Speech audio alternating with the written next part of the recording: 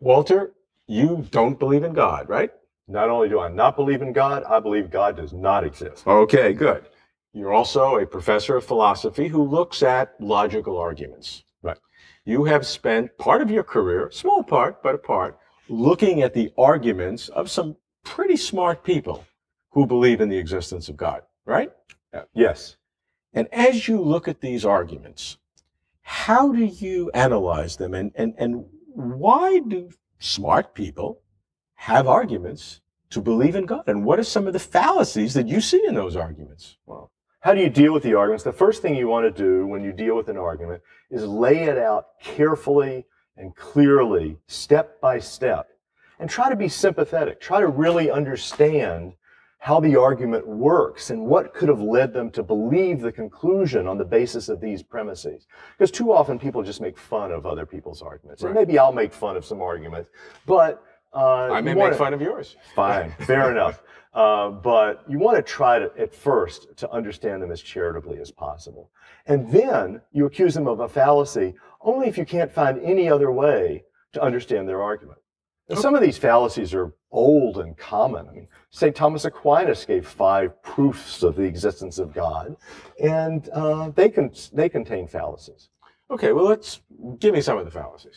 One example is what I call the fallacy of bloated conclusions. You get some premises that will yield one conclusion, which is a pretty weak conclusion, and then you bloat it up so it looks like you've really proven the existence of God. So you use a logical argument, Yes, and, and you, you have some premises which may be acceptable, and they logically uh, result in, in a conclusion. right. And so that works, but then because the conclusion is weak, you you add stuff to it. Right, exactly. And one example of this would be Aquinas' cosmological argument.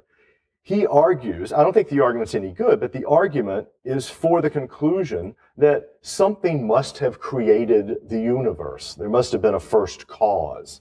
Okay? He says, therefore, God exists. Well, it doesn't follow that anything like the traditional Christian God exists. Something could have created the universe and died the next day. You don't even know if it still exists. You don't know whether it's good. You don't know whether it's eternal. You don't know whether it's a person. Sentient You don't way. know whether it's sentient or, or whether it cares a twit about you. It could have created the universe and gone on its own business and let you fend for yourself. So you, but that wouldn't have served Aquinas' purposes, so he reaches that conclusion and bloats it up into the claim that God exists. Mm. Another example is religious experience. You know, people have a religious experience that leads them to believe in God.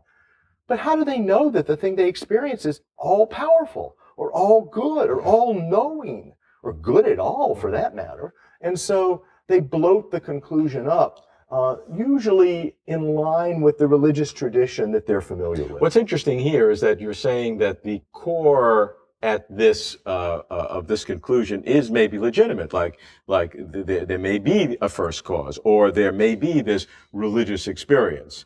But then when you have this little something and you want to believe, then you take that little something which may be justified and blow it up and make it seem as if what you want to occur is that same thing. Exactly. I mean, there's a reason why you bloat it up in the way that you bloat it up. And that's because you want to reach this bigger conclusion. Right. Okay. Another fallacy. um, excessive footnotes. I love the fallacy of excessive footnotes. I got the name from my colleague Bernie Gert. Uh, and that's simply that some people, when they give these arguments, they cite authority after authority after authority. They want to say, well, you, you need to believe in the Big Bang. And once you believe in the Big Bang, then something had to cause the Big Bang, and, and that must have been God.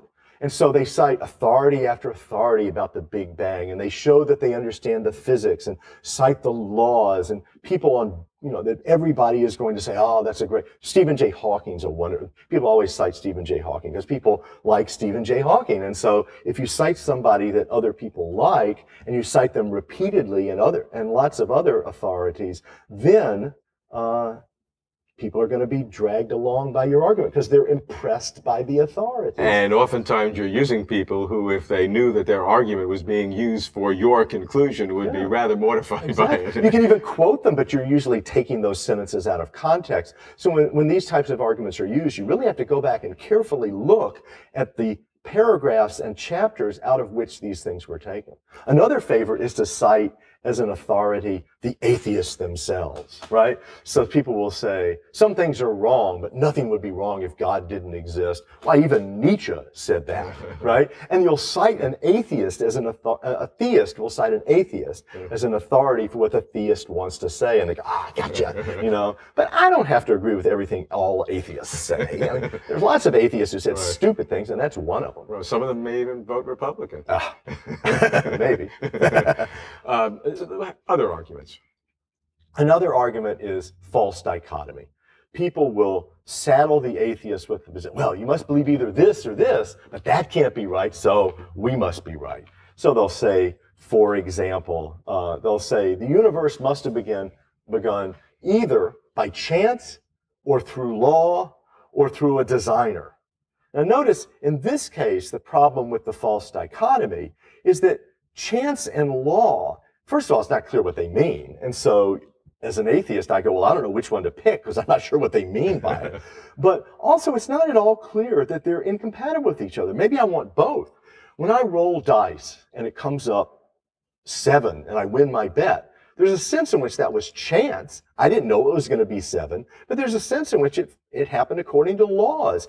If you roll your hand that way with dice that weigh that much and that speed on that type of felt, it's going to come up with that number every time because there's a law that governs it. So law and chance aren't really uh, opposites of each other, and that makes it hard to respond to the argument. They're not well enough defined to know which prong to choose. Well, oftentimes they would be co- joined together, and then the dichotomy would be the law chance on one side and the uh, personal Judeo-Christian God on the other. Right. And that indeed is a false dichotomy because there are innumerable explanations that are, are not either one of those. I'm right. not saying those other explanations are right or even more probable. Exactly. Some of them may be very obscure.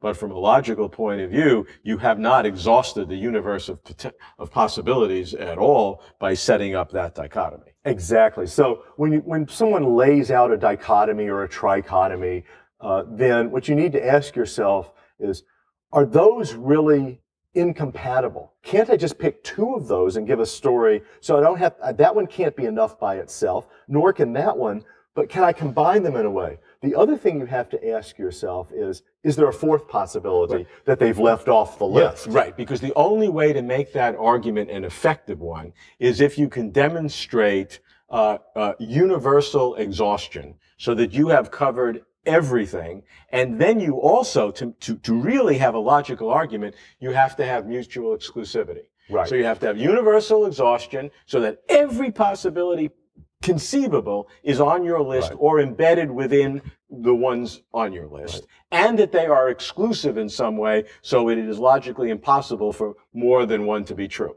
Right. You can do that, then the argument is a valid one. Right.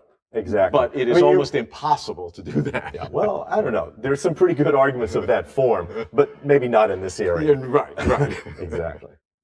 Right. Another fallacy is equivocation. Uh, very often a term will be used in different ways in the course of the same argument. And you can make one step when it means one thing, uh, but then you can't make the later step. Uh, and when it means something else, you can make that later step, but then you can't make the earlier step. And so you have to look at multiple meanings of the term. For universe, for example, sometimes means just the physical universe as we experience it and what we live in. Sometimes it includes God. Sometimes it includes what happened before the Big Bang. That term gets thrown around and used in many different ways, and that creates problems in a lot of the arguments that use that concept. What are some other fallacies? Well, another very common fallacy is the straw man fallacy. You present your opponent's position as as a straw man, something can be easily be torn up, and then you make fun of your opponent, but it's not really their position, so it's not a fair move. One example of that is when theists say that atheists must believe that nothing's really morally right or wrong. There's no objective morality. Well, atheism doesn't imply anything of the sort, but who wants to have somebody who doesn't believe that rape is wrong uh, marry their daughter? and so uh, you're going to be able to make fun of atheists and get people to turn against atheists by ascribing to atheists a position that they don't hold. Another example of the same fallacy is with regard to, for example, the resurrection of Jesus. Uh, it's reported in the New Testament that three women found the tomb of Jesus empty uh, after uh, the crucifixion, after he'd been buried in the tomb. And theists will sometimes say to atheists, well, what do you think? These three women were lying? I don't want to accuse these three women of lying. So it puts me in a very difficult position. But it's not really a fair argument because my response is, I don't know exactly what did happen. I just know I don't think he rose in, into heaven. uh, maybe they were lying. Maybe they were deluded. Maybe somebody else took it before they showed up. I don't know. But don't saddle me with the position of accusing these women of lying. With all of these fallacies, uh, some of them emerging from what we would both consider very smart people, philosophers. Why do you think the, these occur? I think the real motivation for religious belief comes from morality. People believe that if you don't believe in God, you can't be a moral person. They want to be a moral person. And it also comes from religious experience. People really do have these religious experiences and they don't know how to understand them in any way other than through their typical religious and theistic doctrines. So when they really want to believe something, they want to argue for a conclusion, they've already decided what conclusion they want to reach, then these arguments come along. And when people start deciding on the conclusion first and constructing the arguments later, that's when you typically get fallacies.